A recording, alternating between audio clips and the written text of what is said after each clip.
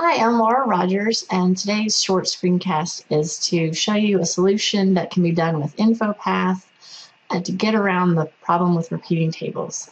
In, in InfoPath, we have this great concept of repeating tables inside of a form, which gives you the ability to add multiple lines of something like an example, like an expense report or a PO that needs to have multiple things entered into the form in a table. Well, the problem with these in the past has been that uh, that table, that whole sub list of information, you can't really do much with it once you've uh, submitted your form to SharePoint.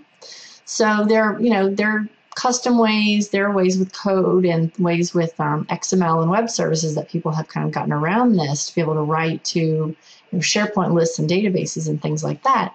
But uh, the example that I'm going to show you in this blog post that I've written is how you can do it using just SharePoint out-of-the-box functionality and InfoPath with the great new InfoPath form web part. So here's the example. I'll show you uh, an expense report that's been created and show you what the solution looks like finished and then I'll show you the example of going through creating a, an expense report. So this is a new way of doing repeating tables where you can use SharePoint lists as all of your sort of sub lists joined together with your form to create uh, a dashboard that looks that gives you the illusion of having one big form with uh, separate tables inside of it. So I have this list of expense reports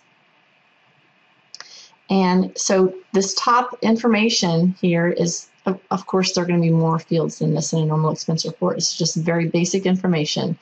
This is the information about the expense report as a whole and then this expense detail, this is the sub-report. This is the subset of information about each item in the expense. So breakfast, lunch, food, different things like that, travel, different types of expenses that would have been added.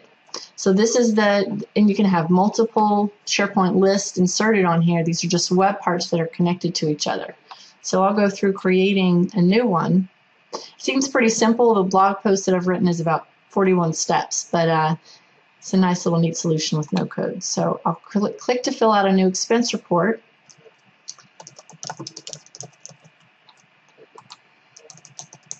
Conference, and let's see, RT, submit my form. And uh, this was sort of the one of the trickiest parts about this form was how to get to the dashboard immediately after creating a new form. And this is all explained in my uh, in my blog post. So here is now I'm on my expense dashboard. So I see the information that I just submitted and then I have the ability to click to create to add a new expense detail. So I'm going to say um, flight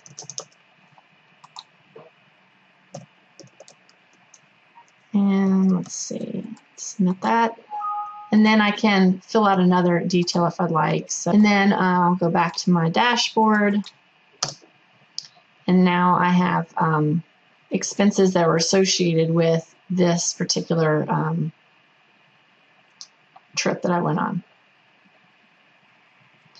And now, as you can see, a lot of this is done behind the scenes using a lot of parameters and data and web part connections, passing data back and forth between the web parts. So this, this dashboard shows me all the information about this form, and you'll notice when I'm hovering over the button to add a new expense detail, that's where I get, it says expense ID equals 8. So when I pull up that new form, it's passing that information to it.